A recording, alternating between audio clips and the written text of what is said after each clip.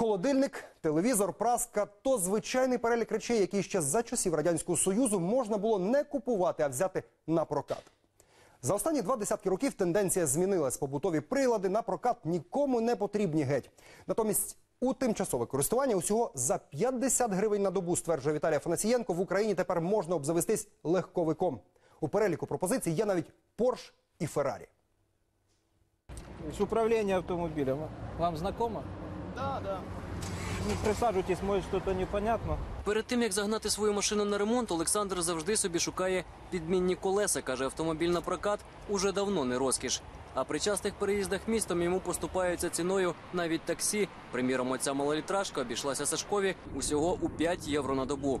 Чоловік каже, через доступну ціну вже давно відмовився навіть від далеких поїздок на власному авто. В других регионах э, как бы на своем автомобиле я не практикую ездить перелетом, либо э, железной дорогой еду, и там уже беру автомобиль в прокат. Але найбільший попит автомобілі економ-класу мають у туристів. Повертати їх у той самий пункт прокату зовсім не обов'язково. Машину можна здати в будь-якому іншому місці.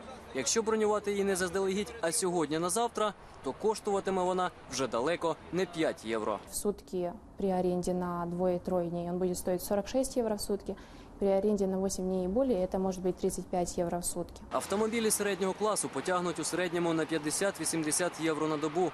Дешевшими, навіть якщо їх завчасно забронювати, вони не будуть, як і автомобілі бізнес-класу. На них ціна для пересічного українця взагалі захмарна Преміум седани та позашляховики у пунктах прокату пропонують за 200-300 євро на добу. Это, как правило, люди, которые прилетают на какие-то деловые встречи, то есть они берут э, автомобили представительского класса. Автомобілі у оренду українцям пропонує майже сотня фірм. Статистики не ведеться, але попит на послугу щорічно зростає. Якщо ще кілька років тому з гаражів українських автопрокатів виїжджало 20-30 автомобілів на день, сьогодні цей показник доходить уже до 40.